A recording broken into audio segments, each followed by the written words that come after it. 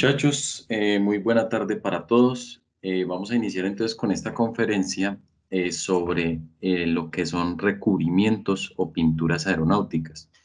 Vamos a ver lo que es la diferencia entre recubrimiento y pintura, porque uno de los recubrimientos es las pinturas de las aeronaves. Em, ya voy a compartir entonces las imágenes. Por favor, me confirman si están viendo en pantalla las diapositivas.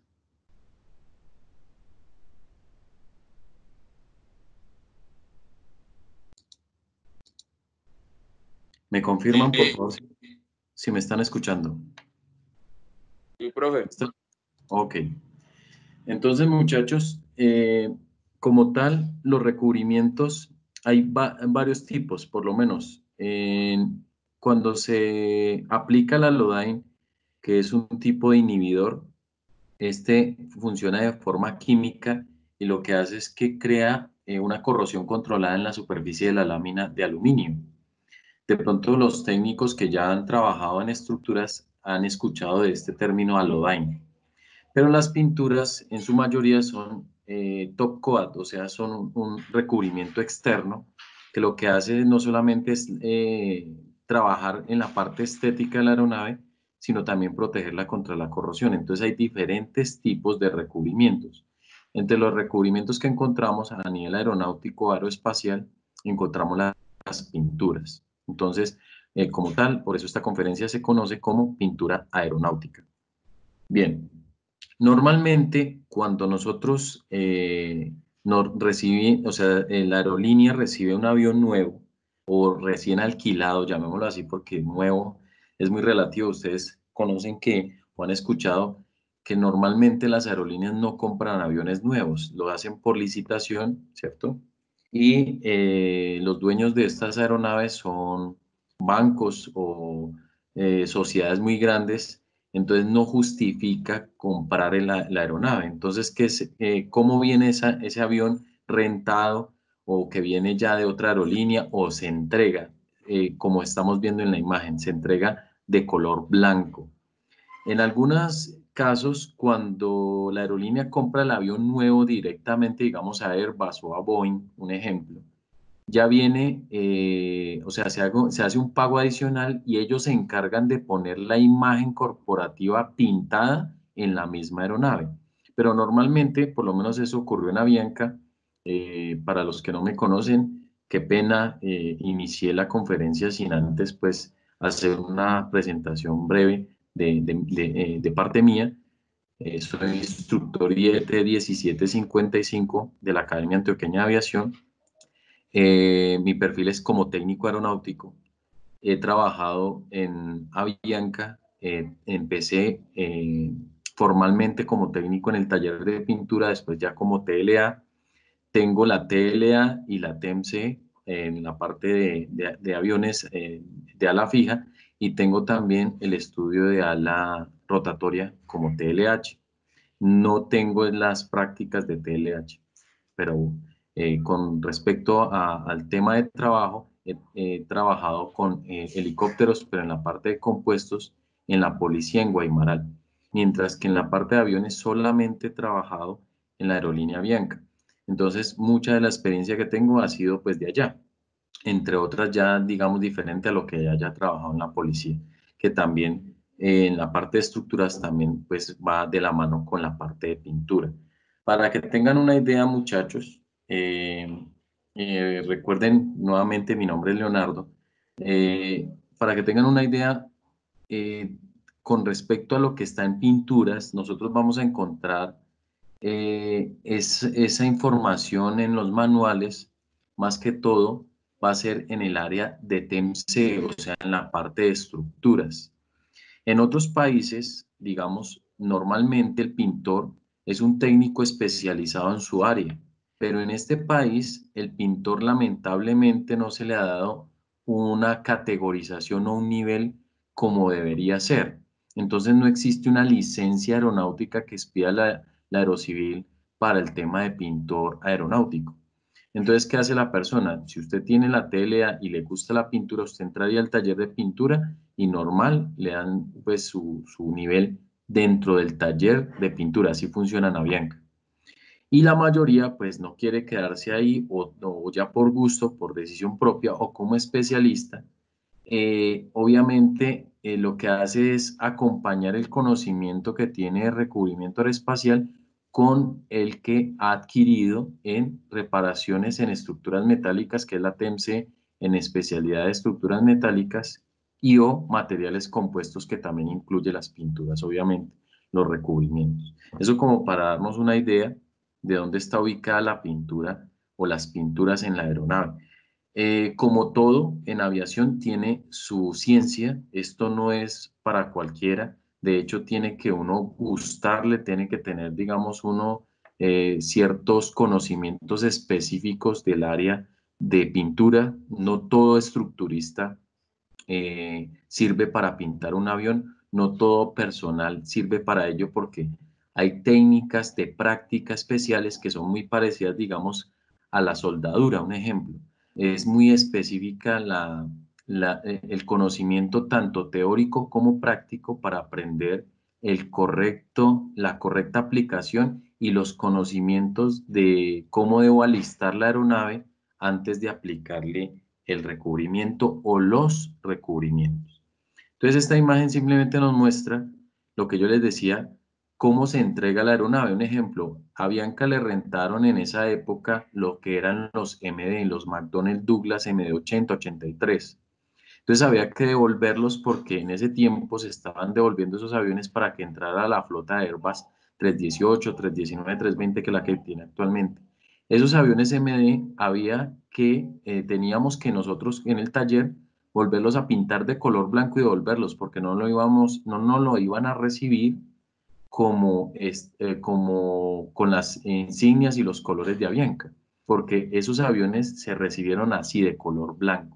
Eso es un punto que hay que tener en cuenta para cuando ustedes vean este tipo de aviones, uno, si los ven en el aire o los ven llegar, es porque este avión o están entregándolo, o, lo, o sea, o lo están recibiendo, lo están entregando para una aerolínea.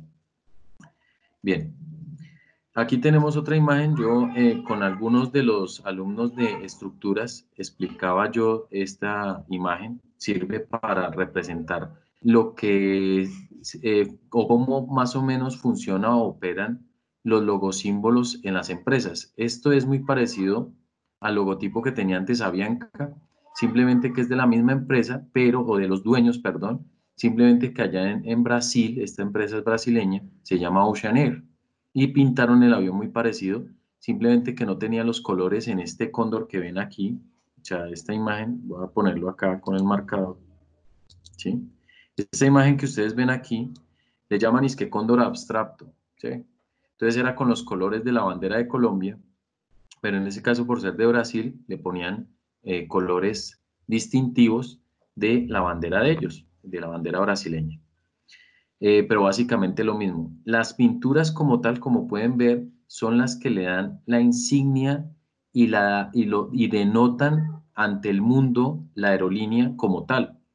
O sea, ustedes en, el mundo podrán ver, o, digamos en este caso este es un Fokker 100, podrán ver muchos Fokker 100, pero se va a distinguir tanto en el empenaje como en el fuselaje una insignia que es única para cada aerolínea. ¿Eso cómo se logra? Con pinturas. Lamentablemente, lo que les decía, en el país no se le ha dado la connotación, la importancia que tiene la pintura aeronáutica. Eso ya ha venido cambiando, ha venido mejorando y se está dando nivel a las personas que son especialistas en esa área. Bien, aquí tenemos otro ejemplo, digamos, de Air France, muy sencilla, ¿cierto? Pero como pueden ver ustedes en la imagen, aparte de, la imagen corporativa, en este caso Air France con su logotipo acá en el empenaje, ¿cierto? En el empenaje, y el Air France, también ven que eh, con pintura en el avión es que se identifica, o sea, las matrículas de identificación en las aeronaves se hacen con pintura. A diferencia, digamos, de un carro que pues es con una placa y independientemente del color que tenga, la placa sigue siendo la misma. Entonces, eh, simplemente es eh, tangible y yo la puedo remover, cosa que no ocurre acá. En el avión hay que hacerla eh, pintada o mínimamente con un sticker, ¿cierto? En un sticker que pues identifique la aeronave y la matrícula. Otra cosa que hay que tener en cuenta, por seguridad, los stickers no pueden ir delante del motor. ¿Por qué? Porque pueden gestar en caso de que lleguen a desprenderse de la aeronave. Entonces, normalmente esos stickers se pueden colocar, pero en la parte atrás de los motores. Esto por seguridad. Y, para evitar esas situaciones, eh, por eso es que es preferible que vaya en la parte de atrás. Pero en algunos casos, vuelvo y repito, es necesario, pero eh, de manera temporal. Por eso se exige en la mayoría de aerolíneas que se haga con pintura, porque con pintura obviamente no va a ocurrir esa situación de que se desprenda un stick. Si tienen alguna pregunta, bien puedan háganla. Bueno, muy bien. Entonces, también aquí en la imagen ustedes pueden ver a distancia varios colores identificativos que están dentro del el ATA de placa and marking, que son marquillas y placas. Entonces, en esa ATA ustedes van a encontrar, digamos, todos los avisitos que tiene en, eh, el avión en todo, en, alrededor en la parte tanto interior como exterior. ¿Cuáles son esos avisos? Por lo menos lo que son warning, caution o no step, ¿cierto? Entonces ustedes van a encontrar en un avión todo ese tipo de avisos. Entonces eso también entra dentro de las pinturas aeronáuticas. Entonces ya estamos viendo varias cosas. Está la parte estética, matrículas de identificación y placa and como lo pueden ver. Todos esos avisos, placas y marquillas. Estos aquí eh, no se alcanza a ver muy bien, pero vemos que hay como unos rectángulos de color rojo, ¿cierto? Y ahí lo estoy como ampliando en estas áreas. ¿Esto para qué es? Puede que lo veamos más adelante, pero igual lo estoy nombrando acá.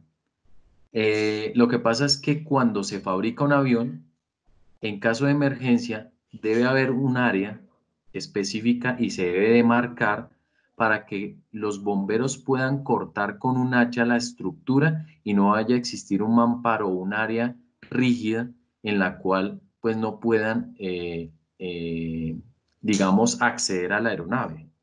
Entonces se colocan esos ángulos de color rojo para indicar que ahí es seguro cortar, o sea, ahí no va a pasar un mazo de cables eléctrico, ahí no va a haber una estructura de un material que no se pueda cortar, sino que sea ligero.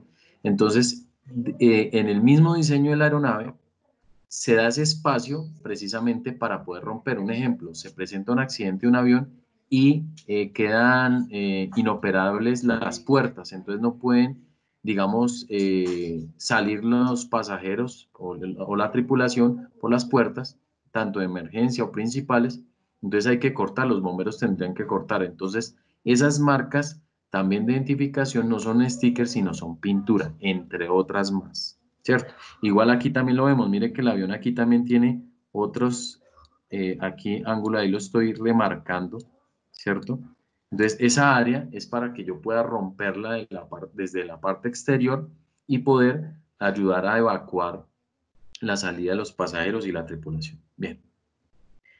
Eh, aquí esto es una imagen de uno de los aviones que tuvo Avianca de, en la época de los 767, ¿cierto?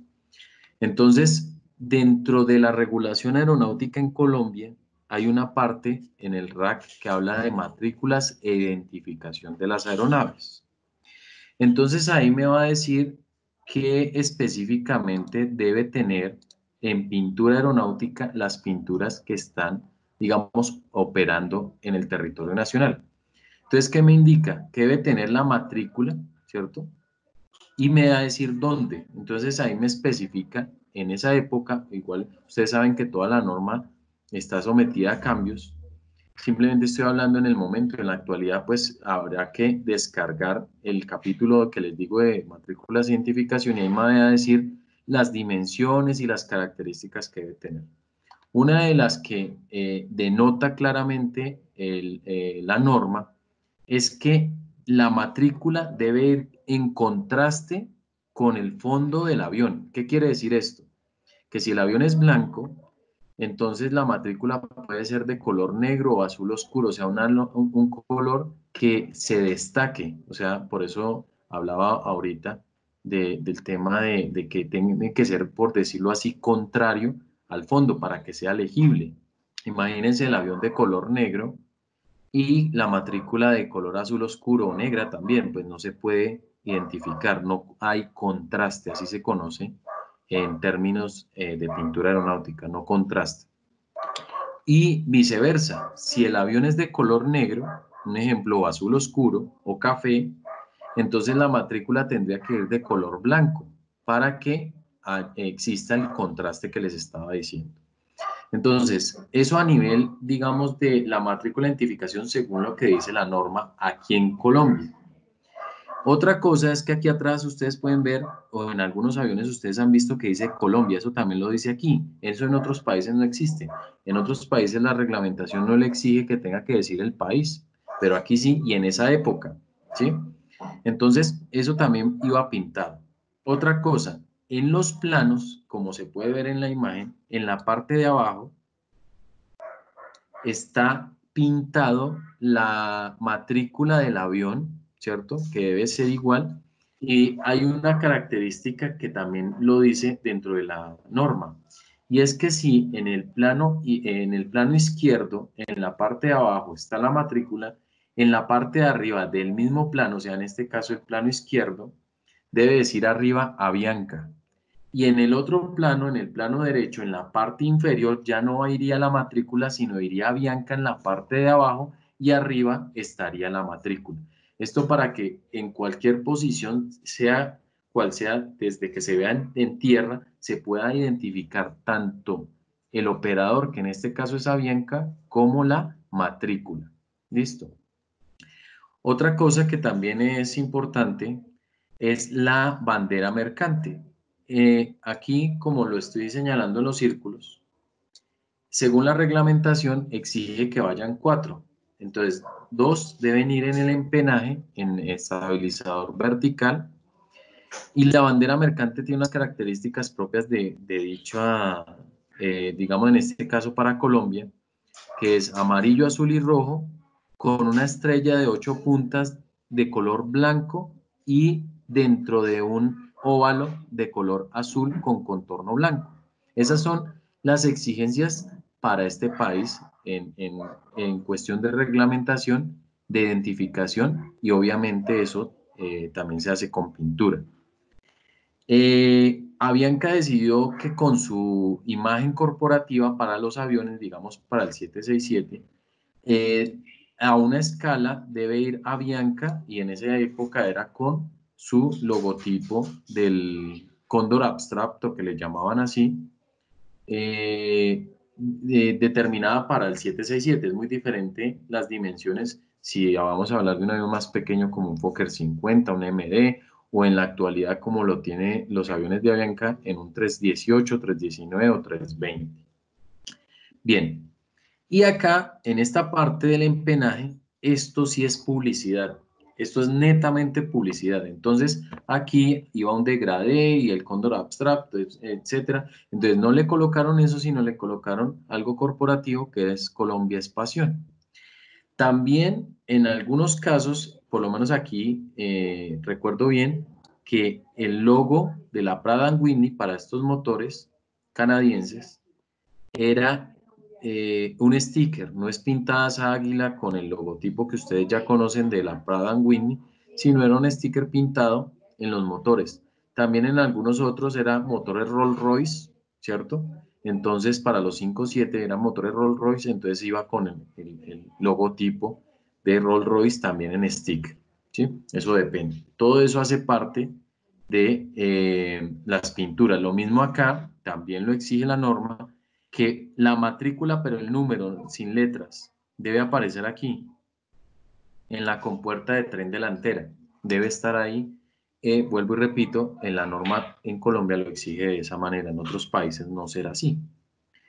Bien, eh, aquí cambiando la imagen, entonces vemos la matrícula, eh, perdón, la, la bandera mercante en primera instancia, como yo les decía, que viene con contorno rojo, fondo azul, el, el, óvalo, eh, amarillo, azul y rojo, y la estrella debe ir de ocho puntas. Eso es lo que eh, designa la matrícula de identificación de las aeronaves para Colombia.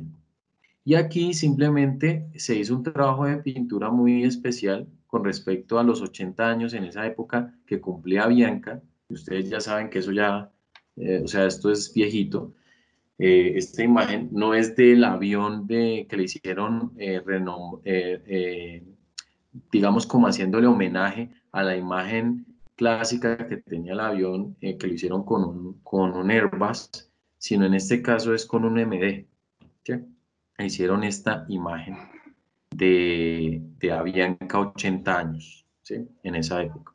Y todo esto, eh, todo este trabajo obviamente es hecho con pintura aeronáutica. Bien, eh, lamentablemente aquí en Colombia la Aerocivil pone muchas trabas para hacer o utilizar las aeronaves como publicidad, ¿sí?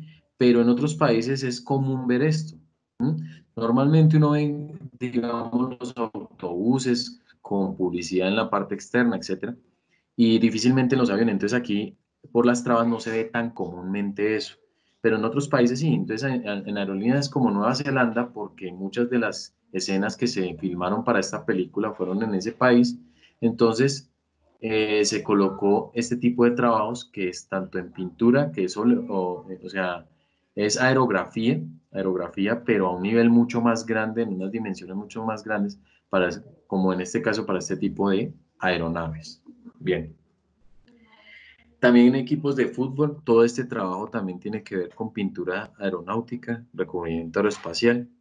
Eh, tiene su, obviamente una complejidad mucho mayor en, con relación al trabajo típico de aplicación de pintura las personas pues que hacen este tipo de trabajos tienen que ser artistas para poder lograr este tipo de, de, o sea, de trabajos plasmados en la aeronave porque el lienzo pasaría a ser pues la aeronave como tal.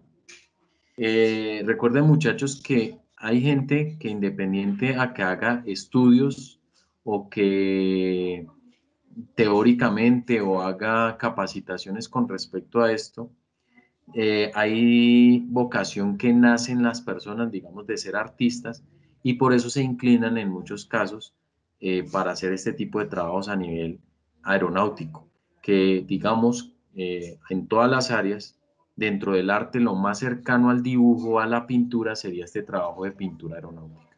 Bien. Este es otro tipo de trabajo. Entonces, alguien preguntaba alguna vez, un, alumno me preguntaba que si uno puede pintar el avión como quiera. Sí, claro, realmente usted puede pintar el avión como usted quiera.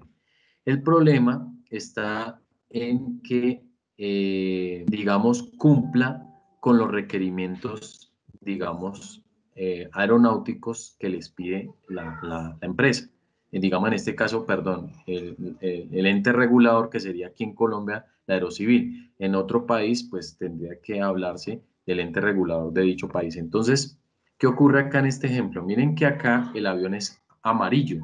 Entonces no generaría contraste la matrícula si fuera de color blanco. Voy a ponerlo aquí en un círculo, ¿cierto? Entonces miren, esta matrícula si fuera de color blanco, sería ilegible, no se vería claramente. Entonces no generaría contraste, como ya les había dicho. Entonces se decide ponerla en color negro. Entonces está cumpliendo con esa norma. Entonces es muy parecida en los otros países. Tiene que cumplirla y eh, mire que por lo menos aquí en este país no exige ninguna matrícula mercante ni nada de eso. Eso depende de la aeronave. Eh, vuelvo y repito, lamentablemente aquí en Colombia la Aerocivil pone muchas trabas para poner publicidad en las aeronaves, pero eso no debería ser así, es, normal y miren que en otros países usted puede o, no está limitado a ponerle a su avión eh, la pintura y los colores que usted quiera, desde que cumpla la norma con respecto a la matrícula de identificación, el resto usted lo puede pintar como quiera. Lo que yo hablo es que no puede decir, ah, no, yo no le voy a poner matrícula y no le voy a poner bandera, no. obviamente que no. Y tiene que tener todos los placas and marking, o sea, todas las marquillas de identificación, eso sí tiene que hacerlo. Pero el resto, usted lo puede pintar como usted guste. Listo. Eh, la otra es esto, otra, otro ejemplo, me voy a devolver acá, ¿sí? Me voy a devolver a, a la de Avianca.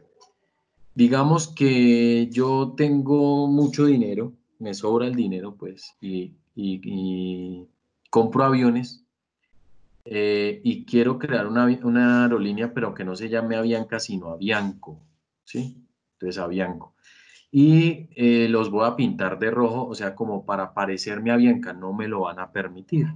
¿Por qué? Porque ya está registrada una empresa que se llama muy parecida a la que yo quiero, con unos colores muy parecidos a las que yo quiero. Entonces, cuando yo lleve la imagen que quiero para que me la autoricen allá, digamos, aquí en Colombia, la Aerocivil, no me lo va a permitir porque me va a decir, venga, primero el nombre se parece mucho y segundo los colores son muy parecidos, entonces no me lo van a permitir. Pero si yo hago algo que no se parezca al nombre de la aerolínea, que no se parezca a los colores y yo lo puedo pintar como a mí me guste, a, personalizado como yo quiera, no me van a poner ningún problema. No, no hay algo ante la ley que me lo prohíbe. Esto es algo que es bueno que ustedes conozcan de cómo funciona, no solamente a nivel de pintura aeronáutica, sino en, todo aspecto. Cuando usted eh, vaya a obtener la licencia TLA o la licencia especialista o la que usted deba o quiera tener ante la aerocivil, ellos no le pueden negar a usted la, licencia porque sí. Un ejemplo, ellos le piden a usted que sea bachiller, que haya pasado por una academia o un centro de instrucción aeronáutica, eh, con un número de horas asociado, unos requerimientos. Si usted cumple con esos requerimientos, sí o sí le tienen que dar la licencia. Puede que se demoren o le pongan una traba y le digan, no, venga, es que resulta que esta hoja no me sirve porque ya venció, entonces usted, digamos, tiene que volverla a presentar el examen porque ya pasó un año, un ejemplo, pero nunca le pueden decir que no. Entonces lo mismo pasa aquí. O se le podrán poner una traba. Ah, no, venga, es que la matrícula no contrasta tanto, cámbiale el color. Ah, bueno, la cambio, nuevamente paso los papeles, me van a decir, listo, ahora sí ya quedó bien. Entonces nunca le van a decir que no, solo que van a poner trabas, pero no le pueden decir, ah, no, es que usted no puede pintar el avión como usted quiera, sino como yo le diga que lo puede pintar. No, ellos no pueden hacer eso. Bien, este es otro trabajo, ¿sí? De Malasia, simplemente que lo que les decía, eh, cumple, digamos, eh, eh, o sea, un aniversario, un ejemplo de la aerolínea, le hacen un diseño especial, digamos en este caso a un 747 de Malasia. Es un trabajo muy bien hecho, es un avión, imagínense, pues es muy grande, y el trabajo de pintura eh, requerido para este tipo de trabajos pues es amplio. Una de las cosas más complejas para hacer y no es fácil para todo el mundo es hacer este tipo de degrades que ven aquí en pintura, que son estas, estas áreas de aquí de la cinta que ven aquí, que es el degrade entre ese amarillo con ese blanco. Hay que saber muy bien técnicas de aplicación para lograr esos efectos eh, que se están haciendo aquí, porque usted no los puede hacer con plantillas, o sea, con plantillas o con algún, o, o, con un robot, nada de eso. Esto es muy artesanal, muy manual, los trabajos que se ven aquí en este tipo de aeronaves. Muy bien, miren, acá tenemos un avión militar de, exhibición, dígame, claro. Qué pena. Eh, cuando se pinta un avión así como de Malasia, eh, el balance eh, cambia. Eh, muy bien, ya me habían hecho una pregunta alguna vez con respecto al peso de, la pintura. La pintura como tal aumenta obviamente el peso del avión, pero es algo que no es tan crítico en, en, el resultado final. ¿Por qué? Porque la pintura no va a estar ubicada en un solo punto, sino que se dispersa en toda el área de la aeronave. ¿Qué ocurre? Que cuando el avión se va a repintar, ¿cierto? O sea, se va a, o sea, ya tenía pintura y se le va a volver a poner pintura encima, eh, se calcula hasta cierto límite dónde va a quedar el espesor. ¿Por qué? Porque si yo le coloco más y más capas de pintura, va a llegar a un punto donde el peso sí va a ser crítico y me va a afectar la aeronave. Entonces, ¿qué se hace ahí? Se remueve la pintura vieja del avión y se le aplica nueva para evitar el sobrepeso y que no haya a, desbalancear el avión. Normalmente ustedes jamás van a ver que un avión se pinte solamente de un lado. O sea, digamos la cara izquierda se pintó y la otra no, eso no, no, no ocurre. Nunca he visto ese caso. Siempre se pinta y va a ser homogénea las capas de pintura para que no afecte dentro del peso y el balance de la aeronave. ¿Listo? ¿Quedó clara, quedó clara la explicación? Sí, profe, gracias. Para nada, listo. Bien. Profe, disculpe. Claro. Una pregunta. eh, si supongamos un ejemplo con Avianca, ellos tienen aeronaves de matrícula November. Esas aeronaves deben de cumplir con, con el reglamento de pintura de Colombia o de Estados Unidos, ya que van a ser operadas en Colombia. ¿Cómo sería? Muy bien, muy buena pregunta. En este caso, como la, empresa está operando en el país, en Colombia, entonces mire que aquí en este ejemplo, como lo ven en la imagen, cumple con las regulaciones en Colombia, pese a que la matrícula está, eh, es eh, de matrícula norteamericana, como lo pueden aquí ver, November, porque está siendo explotada o está operando en el territorio en Colombia. ¿Quedó claro? Ustedes por lo menos pueden ver, busquen en internet, van a ver aviones de Avianca con bandera brasileña y con matrícula brasileña. Entonces, obviamente es porque está eh, en ese país. ¿Sí? ¿Quedó claro, mijo? Sí, sí, profe, muchas gracias. Para nada. Bien. Eh, volviendo aquí a esta imagen de un avión militar, esto es de un avión de exhibición. Hay una ventaja que tienen, digamos, las, las aeronaves militares. Ellas no están reguladas por la Aerocivil, porque lo que es OASI, que es la Organización de Aviación Civil Internacional, y que regula a la Aerocivil por medio de un reglamento que es el RAC que todos conocemos.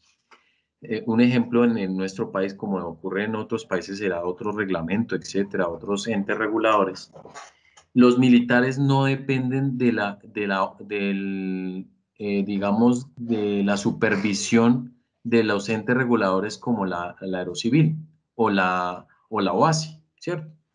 Entonces, con un avión militar, ahí sí que más yo puedo aplicarle la pintura a como eh, se me antoje a mí en un trabajo aeronáutico, porque eh, el gobierno está parte de la aviación civil, entonces ellos lo pueden hacer. De hecho, yo le puedo poner, como hicieron aquí, a un Hawk, a los, eh, a los UH-60, les, eh, les, les, modificaron la, la, estructura y les montaron ametralladoras, como lo que ocurrió con el helicóptero Arpía, etc. Entonces, eh, acá en pintura, como pueden ver, no tienen que tener matrícula ni nada de eso porque son aviones militares, no los regula la OASI. Vuelvo y repito, aquí en Colombia, eh, la, la, el, el, la Aerocivil.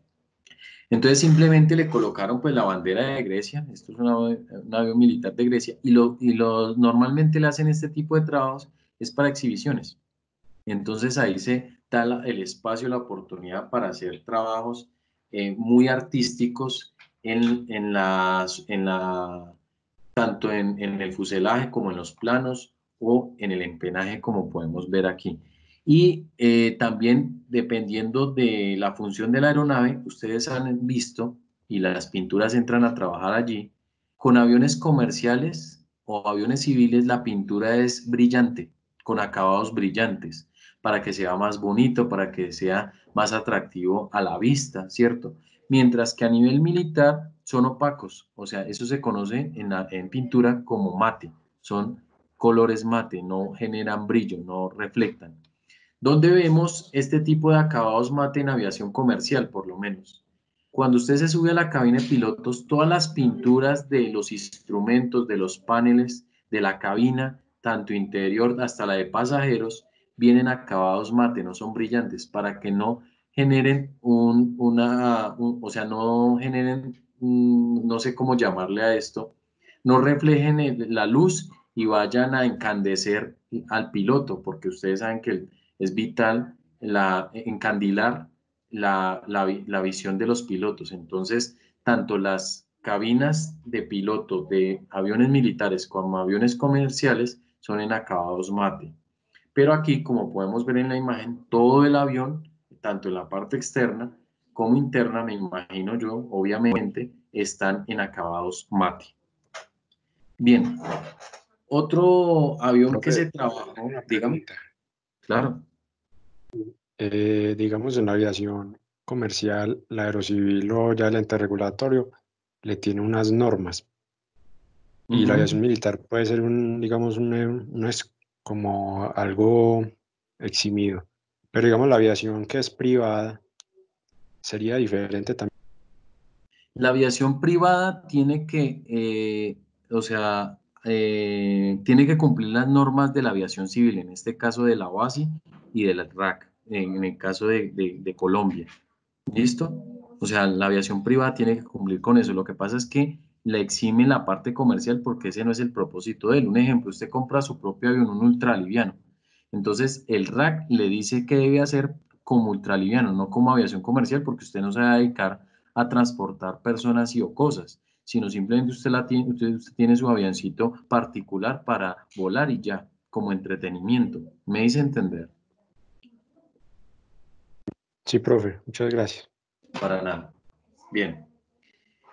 Eh, recuerden que la aviación eh, existe, por decirlo así, lo vamos a dividir en dos. Es aviación civil y aviación militar. La aviación civil la rige la OASI y en cada país su ente regulador, que en el caso de Colombia es, es la Aeronáutica Civil, la Unidad Administrativa de Aeronáutica Civil, por medio del RAC. Y la militar es independiente. O sea, la militar se rige por su propio código penal militar, etcétera. O sea, ellos tienen su propio reglamento y nada tiene que ver con la aviación civil. Listo. Bien. Que es bueno aclararlo, ya que me hicieron esa pregunta. Bueno. Eh, aquí tenemos otro, de, pronto ustedes no lo alcanzaron a ver, esto en, la época en que yo trabajé con, con pinturas, eh, dio mucho de qué hablar. Era la primera vez que habían casi un trabajo de estos con respecto a poner una eh, publicidad tan grande en un avión. Entonces esto fue obviamente en un 767 y se hizo de una publicidad de Juan Valdés para llevar, ustedes saben que pues una de las insignias, de, digamos, de los productos insignia eh, al mundo de, Colombia es el café, entonces se hizo este trabajo de pintura en este avión, ¿sí? Eh, fue un reto, obviamente esto no se hizo con aerografía, o sea, no a mano alzada, sino con plantillas y esas plantillas cómo funcionan. De pronto para el que conozca o para el que no, pues se me dificulta un poco hablarles esto en la conferencia, voy a tratar de explicarlo lo mejor posible. Hay algo que se conoce como plotter de corte.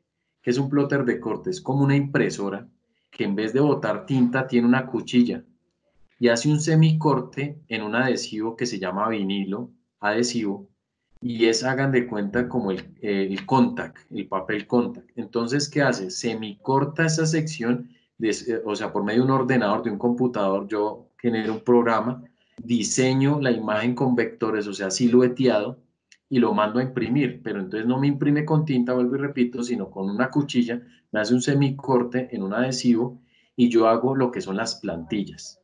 Entonces, eso obviamente con los computadores y, con las nuevas tecnologías, pues eh, ocurrió esto, ¿cierto? Pero antes, ¿cómo se hacía? A mano. A mano, ¿cómo se hacían las plantillas a mano? Se cortaban una cartulina, ¿cierto? Entonces yo ponía la, la plantilla, ¿cierto? Con números o con letras y así, así hacían las matrículas, porque antes no existían ni los computadores, ni los plotters de corte, ni nada de eso. Entonces ya con, con, con, digamos, la experiencia que se tuvo con Juan Valdés, eh, se le llevó el boceto y los que autorizaron esto no fue Avianca, sino fue la empresa de Juan Valdés. Ellos fueron los que dijeron, bueno, queremos esto, eh, que, que, vaya de estos colores así, y se le plasmó, eh, digamos, en un diseño antes de, de, hacérselo al avión, se hizo un diseño básico en un computador, se le llevó a, a los empresarios de Juan Valdés, ellos aceptaron y de ahí ya se llevó a la realidad de colocarlo en el avión 767 con el Juan Valdés, como lo, pueden, lo ven en la imagen. Y obviamente no solamente está en la cara izquierda del avión, sino también en la cara derecha, con los colores. Obviamente, pues esto muestra como una zona cafetera con la insignia de, pues, del logotipo de, de, esta, de este café de Colombia. ¿Listo? Bien. Otro ejemplo, digamos, a nivel militar, eh, que yo puedo colocar con los colores de las insignias que yo quiera, ¿cierto? A nivel militar, esto es de un avión alemán, ¿cierto? Esto muchas veces se utiliza, son aviones que no son ya, o sea, que ya son muy viejos y simplemente los utilizan es para exhibiciones aéreas, porque este avión como tal, pues como ustedes podrán darse cuenta, es muy llamativo, entonces no cumple con la función de la pintura, en este caso que es camuflar la aeronave. Entonces, es, vuelvo y repito, es más que todo se utiliza, es para aviones de exhibición, digamos como aquí en el, caso en Colombia, cuando se hacen las exhibiciones del 20 de julio, ¿sí? Allá pues en Alemania será pues en una fecha determinada o lo que sea, ¿cierto? Según el país. Este, esta imagen la tengo acá porque es un trabajo muy bonito, es un trabajo muy bien hecho. Esto es aerografía, esto no se hace con plantilla. Lo único que de pronto se pudo haber hecho con plantilla es, es este, eh, este contorno de este avión que está aquí abajo blanco. De resto, este tigre que está acá, con estos colores de fuego, eh, es aerografía, o sea, es un tema artístico eh, netamente hecho a mano, es muy artesanal. Esto de 31 Tigers muy probablemente pudo haber sido con plantilla, de resto es a mano alzada. Esto es un avión de Bélgica. Bueno, miren que el avión como tal, volvemos a lo mismo, lo hacen con, con una función más de, eh, de exhibición que realmente la, la, función de la, de la pintura mm, eh, a nivel militar es camuflar. En este caso, pues no se, se exime de eso porque no es su función primordial en este caso, sino es antes llamar la atención. Bien. Listo, eso con unos ejemplitos ahí como para darnos una idea de lo que, hasta dónde tiene el alcance las pinturas aeronáuticas. Entonces, vamos a ver lo que es la teoría eh, básicamente y lo que es práctica, porque hay, mucha, hay mucho tema de pintura que independientemente de la conferencia no vamos a poder comprender porque eh, se debe aprender de manera práctica. Digamos, la aplicación, la, el, el, aplicador de pintura no lo aprende netamente con, la, con un tema teórico. Usted le puede enseñar al, al aplicador las partes de la pistola, eh, los materiales, los componentes, ¿sí? El, digamos, cómo regular la presión, etcétera pero uno no va a poder profundizar bien hasta que no haga una práctica. Eso sí es una realidad. Entonces, bueno, a nivel de teoría, nosotros necesitamos entender qué es corrosión brevemente para comprender que aparte de todo lo que hemos hablado, la pintura también cumple con un factor importante y es crear una barrera de protección contra ella, contra esta misma que es la corrosión. Vamos a ver algo de una reseña histórica con respecto a los recubrimientos y las pinturas aeronáuticas la definición de los tipos de pintura, los equipos de protección, porque para poder trabajar en este tipo de, elementos, con este tipo de elementos debemos protegernos no solamente la piel, sino a nivel respiratorio, entre otros. Todos esos son equipos de protección. Y por otro lado están las técnicas. ¿Cuáles son esas técnicas? Entonces son lo que es la remoción, el alistamiento y la aplicación. ¿sí? Y por último, las técnicas, recursos, alistamiento, aplicación, que vuelvo y repito, pues nos quedaríamos cortos porque eh, por una conferencia pues es imposible poder enseñar a cómo manipular o cómo utilizar la, pintura, la, la, pistola para aplicar pinturas. Bien. Entonces la corrosión. Como tal, la corrosión es la propiedad, esto ya se los dije a los muchachos que están conmigo con estructuras o los que vieron conmigo estructuras, es la propiedad que tiene todo elemento de retornar a su estado natural. ¿Qué quiere decir esto? Resulta que el aluminio como tal no existe en la naturaleza. Es muy difícil, de hecho, encontrarlo, que se preste, que yo encuentre como conozco el aluminio de forma natural. ¿Cómo lo encuentro? Como una arcilla. Esa arcilla se llama bauxita, con X, bauxita. Entonces, esa bauxita, por medio de un tratamiento, o sea, por medio de un manejo que hacemos nosotros los seres humanos, que se llama molienda, dilución y decantación, entonces se crean o se fabrican planchas o láminas de aluminio. Y entre esas las puedo utilizar para la casa o para algún proyecto, etcétera. Eh, también con unas características determinadas se utilizan eh, aeronáuticamente, ¿cierto? Entonces, ¿qué ocurre? todos los materiales que vemos, un ejemplo, eh, si yo veo un, un, pedazo de hierro tirado por ahí en la calle que está sometido a corrosión, o sea, el medio ambiente lo está corroyendo, lo que yo tengo que observar es que lo que está tratando es de retornar, como ya les dije, a su estado natural. ¿Cómo era el estado natural en que encontraron en las minas o lo que sea que encontraron el hierro? Lo encuentran con esa característica como está oxidado, o sea, ese polvo rojizo, así es en su estado natural. Entonces vuelvo y repito, la corrosión es un estado no de que se está pudriendo, se está dañando, se está, o sea, da la apariencia de eso, pero realmente lo que está haciendo es volver a su punto natural y todo está sometido a la corrosión, independientemente de lo que miremos, una fruta, el cuerpo humano, las comidas, eh, el metal, el plástico, todo va a tender a, retornar a su estado como normalmente era. Es una forma de reciclar. La, mejor eh, maestra del reciclaje es la naturaleza. Entonces, eh, obviamente nosotros no somos la excepción, ¿cierto? ¿Qué ocurre por lo menos con metales naturales? Hay metales naturales como el oro, la plata, el cobre, etc. Entonces uno dice, bueno, ¿y por qué el oro no se corroe? Es una pregunta que normalmente surge en estos casos. Resulta que el oro no se corroe porque resulta que el oro ya se corroyó de esa manera. O sea, es una corrosión de ese estilo. O sea, se eh, eh, genera una corrosión con ese color brillante, llamativo, bonito, ¿cierto? Que es atrayente. Entonces ya no se puede dañar. O sea, ya se dañó tanto, por decirlo así, llamémoslo así, dañarse, a corroerse, que ya no se puede dañar más.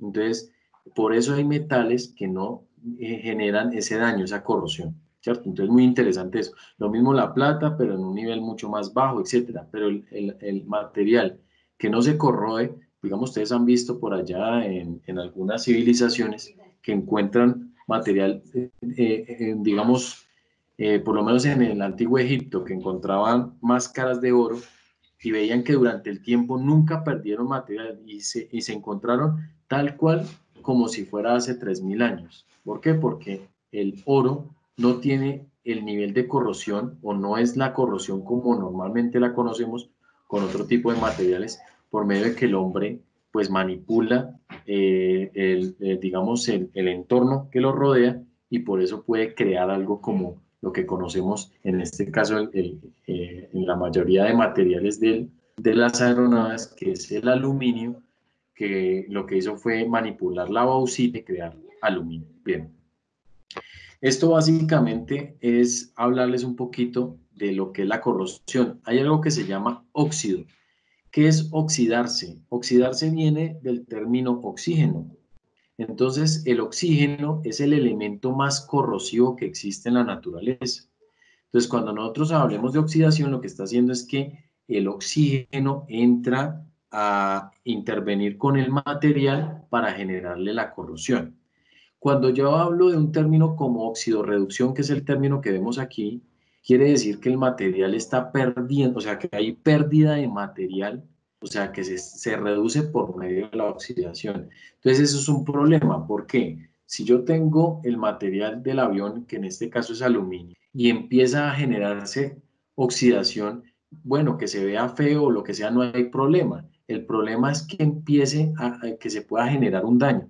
¿Cómo se genera un daño? Cuando hay una reducción del material, o sea, pérdida de material. ¿Por qué? Porque se hace más débil. Y si se hace más débil, pues el avión se va a generar una fatiga y va a generar una, un posible accidente. Entonces, por eso, uno de los enemigos número uno del avión, de, los, de las aeronaves, es la corrosión.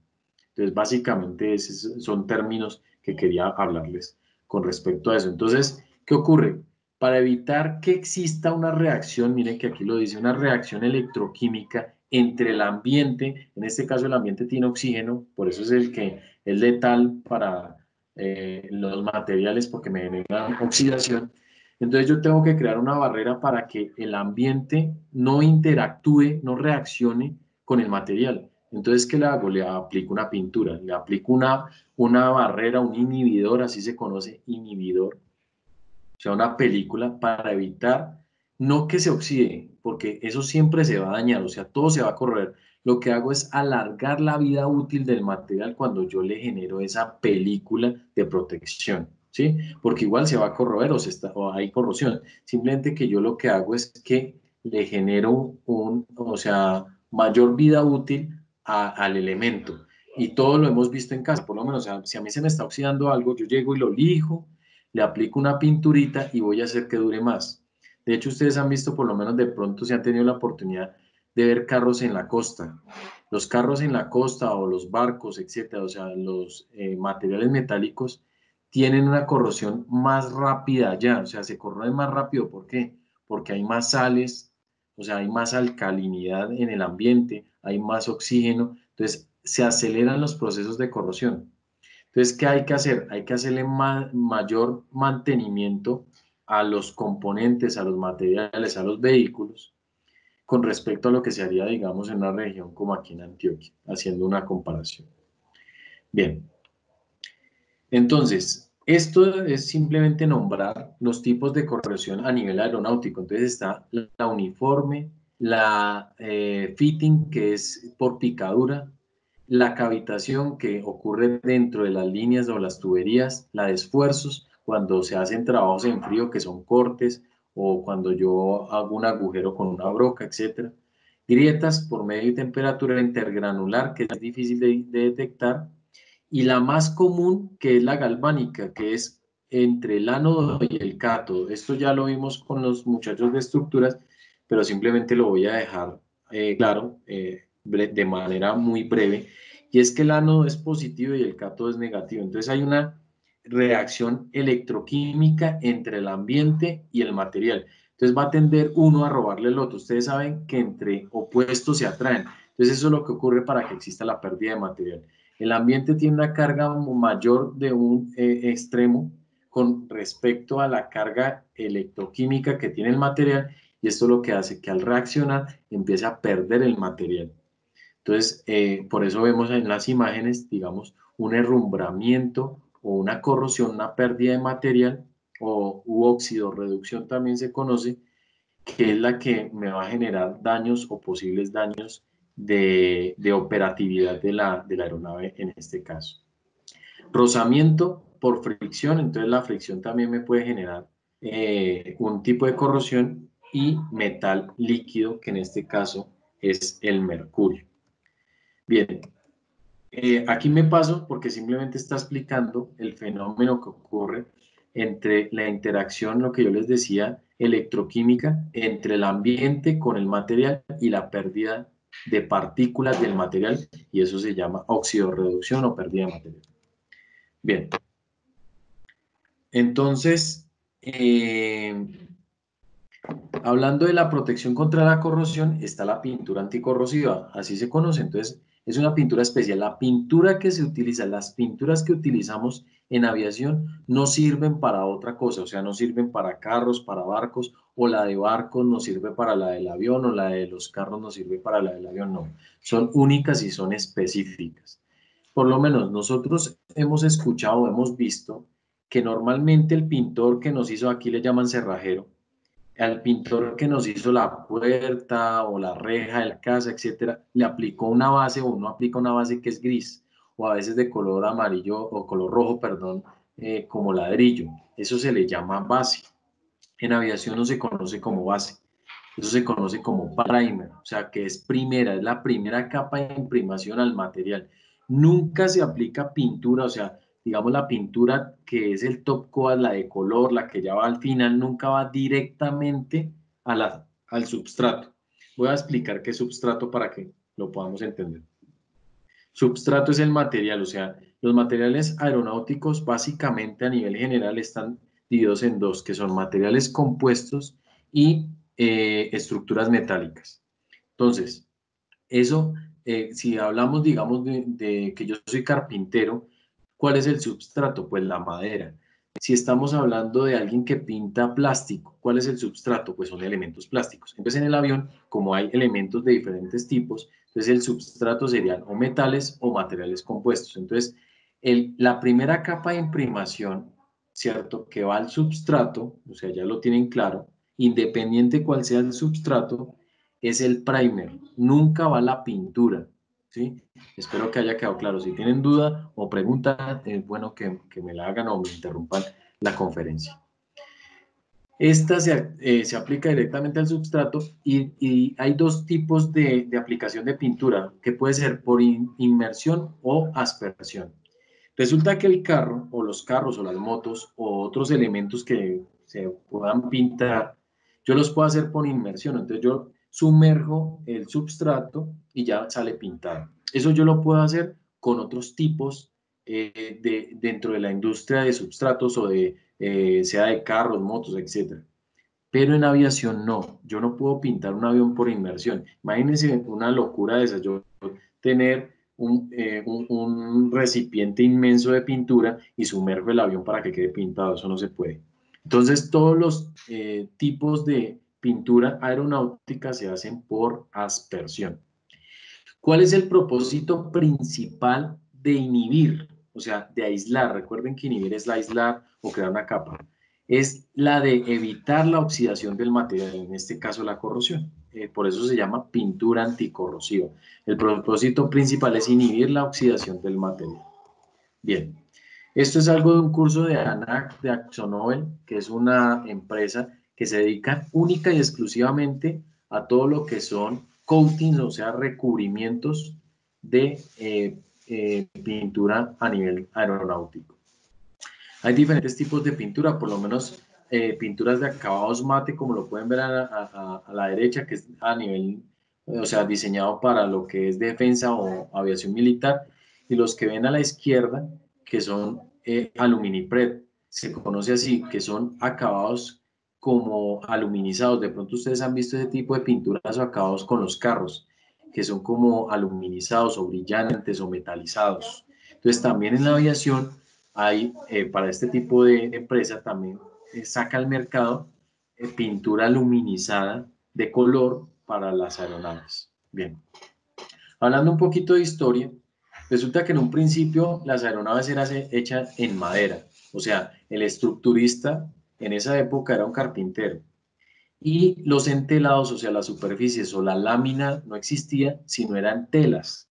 Entonces se le aplicaba un barniz para que la tela fuera mucho más rígida o unas lacas, llamémoslo así, o una celulosa para darle dureza al lino y también los barniz para proteger la madera, ¿cierto? Como lo hace un carpintero, de, digamos, protegerla contra el gorgojo, etcétera, ¿sí? O la humedad, bueno. Y resulta que la primera introducción de pinturas fue con un propósito de camuflar, porque las primeras aeronaves no fueron para transportar personas, sino fueron como un arma bélica. Ustedes deben conocer por historia que las primeras aeronaves que existieron las diseñaron fue para eh, con fines militares. Entonces, el, el, el primer, digamos, propósito era camuflarlas. Básicamente era eso. Ya después, en el 35, el primer avión completamente metálico que lo hicieron Douglas, la Lockheed y la Junker, entonces, ¿eso qué hizo? Que al cambiar los substratos, entonces cambian los recubrimientos por obvias razones. Entonces, las nuevas pinturas desarrolladas, obviamente por lo que ya los aviones eran eh, metálicos, fueron primer, que ya saben que es la primera capa de imprimación, son los primer y los alodyne, que yo le expliqué al principio de la conferencia, son cromatos alquídicos de zinc. Estos eh, simplemente son eh, composiciones químicas que se pueden adherir más fácilmente a un substrato metálico, a diferencia antes de cuando eran en madera. Los wash primer también son primer, son primer que se aplican, pero como cuando uno lava, eh, lava el carro lava el avión, entonces se aplican de esa manera y quedan adheridos a, la superficie. También las lacas acrílicas y los acabados alquídicos. Todos estos productos fueron usados hasta los años 60, tanto en aviones como comerciales como militares. Después, ya en, entre el 58 y el 62, las primeras pinturas epóxicas. Las epóxicas son unos tipos de pinturas que son mucho más resistentes. Y eh, este tipo de resistencia lo da los uretanos o los poliuretanos. La pintura que más se utiliza o la insignia pintura en aeronaves se llama poliuretano, o sea, de varios uretanos. Y es muy flexible, permite cambio. Ahorita les explico un poco acerca de eso. Entonces resiste mucho, en este caso, en ese eh, eh, principio de pinturas epóxicas, es altamente resistente a los impactos.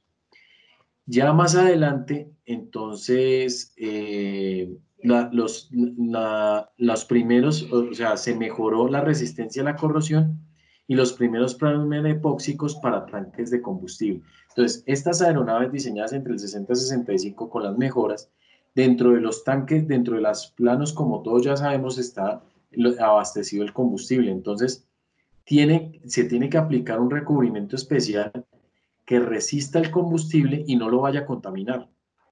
Entonces se crearon o se diseñaron los primeros primer para tanques de combustibles.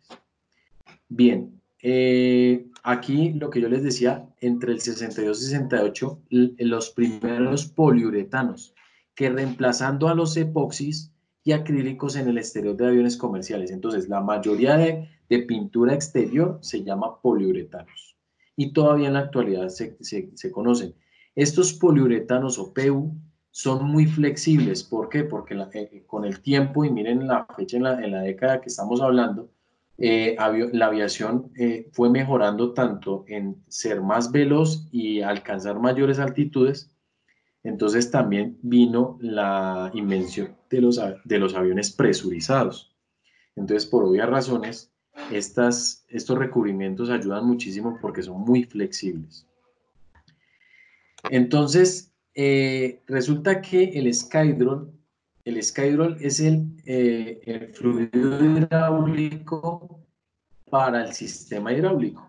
Entonces es muy corrosivo. Entonces, ¿qué ocurre? Que es capaz de, de laminar, ¿sí? O remover la pintura. Entonces, se hicieron o se diseñaron aviones que fueran resistentes, eh, recubrimientos, perdón, que fueran resistentes con esta nueva línea de aviones para que sean resistentes al Skydrol. Y eh, en epoxi, epoxiamin, que es un endurecedor, esto es muy específico de la pintura, y los poliuretanos, que son poliéster más endurecedor de isocianatos. O sea, mejoraron las tecnologías a nivel químico en la década de los 60 con respecto a, los recubrimientos aeronáuticos, con respecto a la flexibilidad y eh, la resistencia. Listo. En el 85 empezaron a preocuparse ecológicamente. ¿Por qué? Porque esto es altamente tóxico. De hecho, la mayoría de pinturas, no, no tanto ahora sino antes, tenían hartos, harta cantidad de plomo y esto es muy dañino para la salud. Y entonces, miren que, eh, y también con respecto a que contaminan el agua, el medio ambiente, etc. Entonces empezaron a disminuir la cantidad de metales pesados como el plomo. También a reemplazar los cromatos porque eran primer altamente cancerígenos. Lamentablemente, una de las cosas que a mí pues no me gustó mucho de trabajar con pintura eh, a nivel aeronáutico es que eh, genera gran impacto al medio ambiente, tanto en el aire como en el agua. Tristemente es así. De reducción de emisiones de solventes de acuerdo con la legislación. Entonces, se crearon legislaciones para regular, eh, digamos, eh, productos que generaran contaminación al medio ambiente y se empezaron a implementar productos con base en agua. Bien, entonces hay diferentes tipos de pinturas que lo podemos hacer con mezclado en la boquilla, pintura en polvo o pinturas aplicadas por electrodeposición, que es el sistema de pintura electroestática. Bien. Entonces, aquí hay simplemente como unos puntos a tener en cuenta que son los siguientes. Dice, ¿cuáles son las pinturas? ¿Para qué se usa? Categorías de pinturas, ingredientes básicos, pinturas aeronáuticas que son primer, acabados y pinturas especiales, restricciones y leyes ambientales y recursos. Entonces, ¿qué es la pintura como tal? Es la dispersión de un pigmento en un líquido orgánico aplicado sobre un substrato para dar un acabado bajo forma de una capa fina. Eso es básicamente la definición tradicional. Entonces, miren, de esto ya venía hablándoles. ¿Para qué se usa? Pues primero para proteger, para proteger contra qué? Contra la corrosión y hacer una vida útil mucho más extensa de la aeronave para decoración, obviamente estética, para darle en la, la, imagen a la aerolínea, ¿cierto? Si fuera para, digamos, eh, un avión comercial. Y para usos especiales, hay unos usos especiales que son muy específicos para las aeronaves. Un ejemplo, que sean, eh, que digamos, dispersen la estática, porque hay recubrimientos antiestáticos. Entonces, dependiendo de, de la, del tipo o el, requerimiento tienen usos especiales o lo que yo les decía, pinturas que no sean reflectantes, o sea, que sean de acabados mate para que no vayan a encandilar a los pilotos. Bien. Aquí tengo una imagen donde nos muestra los diferentes tipos de recubrimientos que yo puedo encontrar en un avión comercial típico, en este caso un 747. Uno se imagina que es solamente un tipo de pintura, entonces uno dice, ah, no, esa pintura se la aplican a todo el avión, Miren que cada área que cumple un, trabajo específico tiene diferente tipo de pintura.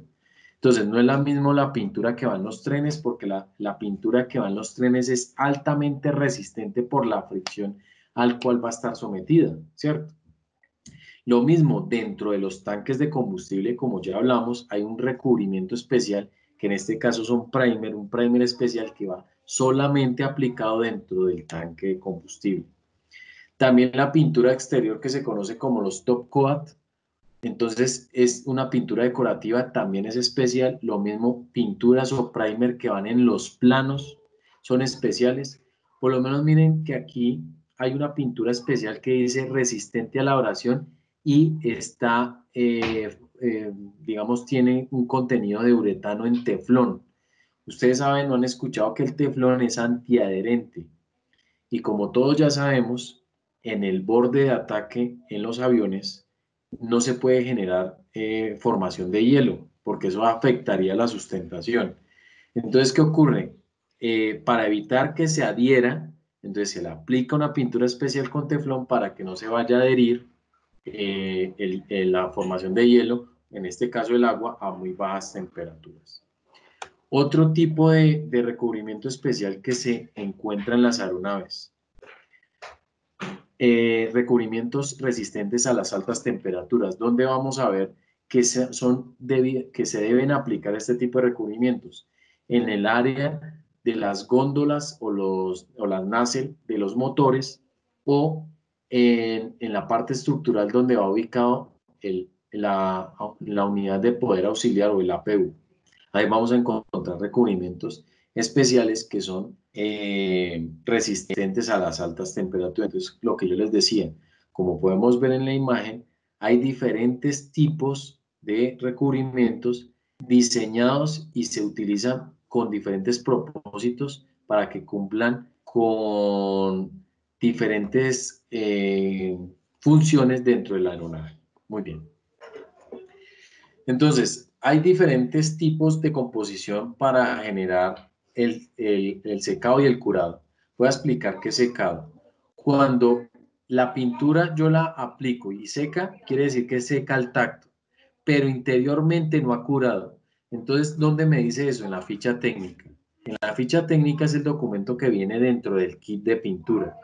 Cuando yo miro, eh, yo debo revisar el, el, el data sheet o la ficha técnica, ahí me va a especificar a qué tiempo seca y a qué tiempo cura. Un ejemplo, me dice a las 12 horas me va a secar, pero a las 48 horas cura. ¿Cuándo el avión debe volar? Solamente después de que cure, porque si el avión sale y vuela solamente con el tiempo de secado, muy probablemente que será lo, que más va a ocurrir, lo que más, eh, pues seguramente va a ocurrir, es que se va a delaminar porque no ha curado totalmente la pintura. Entonces, esos kits de pintura no viene un tarro de pintura y ya. A ver, les explico, la pintura convencional que ustedes conocen o que han visto, la laca, digamos una laca que yo compro en la ferretería, si yo la destapo, ella se va a secar por oxidación. ¿Qué quiere decir? Que el oxígeno del ambiente va a interactuar con la pintura y va a tender a secarla. Estas pinturas aeronáuticas no funcionan así.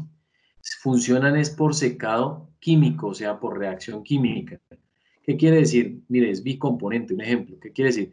viene el kit con estos dos componentes y viene uno a uno. ¿Qué quiere decir? Que por la cantidad X de este eh, componente A es la misma por este componente B. Si es 2 a 1, un ejemplo quiere decir que por dos proporciones de este A es una solamente esto depende.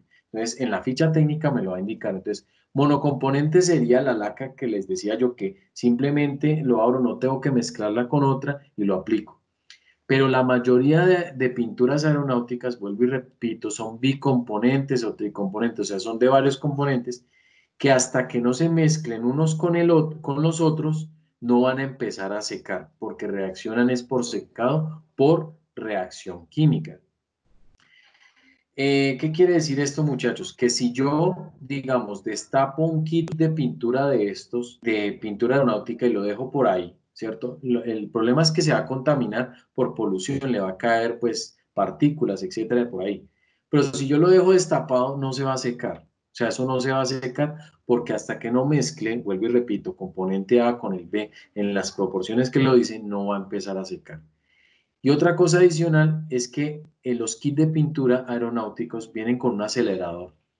¿Qué quiere decir eso? Es un tercer, eh, digamos, eh, es una tercera lata que viene ahí en el kit y lo que hago es que dependiendo de la cantidad que yo haya mezclado, al aplicar unas gotas de ese acelerante voy a aumentar la aceleración en, en un porcentaje. Entonces, en la misma ficha técnica me dice, si usted quiere acelerar el proceso de secado de aplicación de 12 horas a 9 horas, aplique tantas gotas de acelerador. Entonces, lo aplico. ¿Listo? Normalmente no se aplican retardantes, se aplican son acelerantes. Listo. Y eh, hay diferentes, digamos, composición de la pintura para entenderla. Entonces, el formador de camada es lo que hace, digamos, que este líquido que se mezcla con el pigmento. ¿Qué es el pigmento? Son pequeñas partículas, haga de cuenta como si fuera arena. Entonces, eso se, eh, se encuentra naturalmente, el pigmento, como si fuera el color que le aplican en la cocina, que es como un color ladrillo o lo que sea, que es un polvo. Entonces, este material particulado en polvo es lo que le da color a la pintura. Entonces, cuando yo la aplico, no es que venga líquida, eh, eh, el color de la pintura, el pigmento no es líquido, es seco y es, eh, es material particulado. El solvente es el que al aplicar la pintura se va a evaporar. Entonces, un ejemplo, cuando yo pinto la casa y aplico, digamos, vinilo en la casa, pintura eh, de, base de agua en las paredes, resulta que ustedes la ven que al estar húmeda, usted dice, listo, me toca esperar a que seque. ¿Qué es lo que está secando realmente? No es ni el formador de camada ni el pigmento, es el solvente. ¿Cuál es el solvente de esa pintura? Agua. Pero obviamente en las pinturas aeronáuticas y más en las pinturas decorativas exteriores, el top no es a base de agua. Entonces, por eso hay que tener una protección especial respiratoria, porque eh, lo más eh, probable es que sean tóxicas.